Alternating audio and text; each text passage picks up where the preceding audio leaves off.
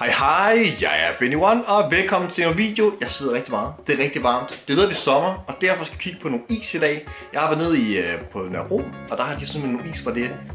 Altså, jeg har bare ikke set det før. Det er alt for nice. Det er sådan noget dejmis, snickeris. Lad os bare kigge på den første. Der er fem i hvert fald. Okay, den første is, det er den her Milky Way her. Det ser som om, at igen, det er ikke Milky Way, det hedder det Milka. Øh, de har det meget med, de laver kun de der små chokolader der, er det ikke dem? Er det ikke noget med Milka, de laver kun visse? Jeg har i hvert fald ikke set det her før. Det er sådan en chokoladeis, og så vaniljeis. Nu har jeg sådan normalt, når jeg spiser som is, specielt Magnum, så spiser jeg først alt chokoladen, og så bagefter spiser jeg vanilje, men øh, nu tager jeg altså bare en bid af den. Ingen chokolade i sofaen. Der er mest vanilje, men der er en lille smule af chokoladeis der. Der er sådan noget knas. Det er ikke øh, nødder eller sådan noget, det er et eller andet form for knas. Smager meget godt. Okay, den næste is, den her snickeris her, og jeg kan næsten gemme mig til, at det nok bare er vanilje, og så håber jeg virkelig meget, at det er peanuts der er på. Men jeg har faktisk aldrig smagt en is, hvor det var peanuts på ydersiden. Det er altid mandler eller sådan noget der. Okay, den den er godt nok formet lidt sjovt i forhold til de andre. Jeg kan ikke huske Snickers, er der også plejer at være karamel i den egentlig?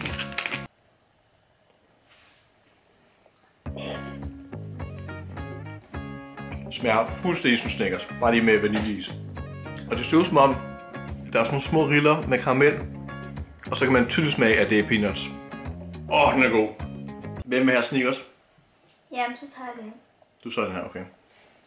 Fuck, den er god. Jeg har folk med i dag til at spise is. Du skal bare ikke gå til at spille. Snickers is. Rigtig god. Den næste is, det er Oreo-isen. Eller Oreo. Altså, jeg, lige, jeg siger jo Oreo. Det er altså godt. Oreo, altså. For at være helt ærlig, så har jeg aldrig forstået hypen med, med Oreos. Jeg synes ikke, det smager vildt godt. Jeg kan bedre lide sådan nogle øh, chokoladekiks. Oreo er lidt plain. Jeg synes ikke, jeg har aldrig forstået hypen omkring det. Det ser lidt øh, dark ud. Den har virkelig mærkelig konsistens, lige der to. Jeg tror faktisk, det ikke er... Jeg tror, det er samme som det der kiks, der er, som er på skallen. Mm, det er det. Ej, hvor mærkeligt.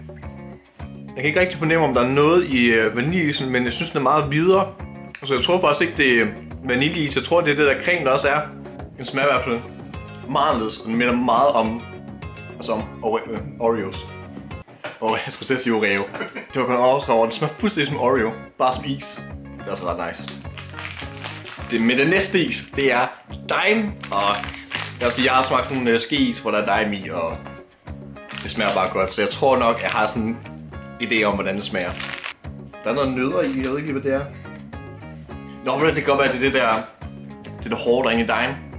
Det der karamel noget, der er udenpå. Det finder jeg ud af lige nu. Det er det. Der er også nogle små flager af det i øh, selve vaniljeisen, hvis man kan se det. Men der er det så fint, så der kan faktisk bedre lide de store stykker, der er for simpelthen der, man kan få med skeis. Så den sidste is, og det er faktisk den, jeg glæder allermest til, det er Toblerone-isen. Jeg håber lidt, den er formet ligesom øh, på billedet her, sådan en koge. Jeg synes som om det er noget, altså det er chokoladeis, der er inde i midten. Og så de der nødder og stykker chokolade. Den, den er sgu formet som sådan en pizza. Juletræ. Det er et juletræ.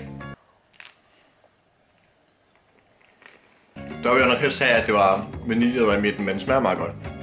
Der er sådan små stykker af chokolade. Er det det? Nej, det er sgu ikke. Det er bare vanilje.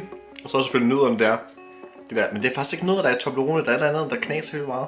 Jeg ved faktisk ikke, hvad... Nogen ved det? Nej, men de er gode til at tage tyk på. Den. Ja, man kan nu have sådan en lille bolle af det, og så tykke det. Nuka.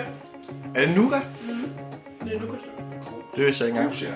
Jeg har faktisk, det var faktisk den, jeg troede, smagte bedst. Åh, hvorfor den smagte bedst? Hvis jeg skal være helt ærlig, så tror jeg faktisk, at det med snickeren, det var den, der smagte bedst, for der var det der karamel i, og det var, jeg ved ikke hvorfor, men med det der karamel, det var, åh. Hvem var det, der fik snickeren? Det var dig. Smager den ikke godt? Der vil bare nikke kraftigt. Åh, det var sgu godt med lige. Så jeg håber, I nød den her video. Hvis I gjorde, så må I like, og hvis I gerne vil se mere, så må I også huske at like. Vi ses meget snart. Hej hej.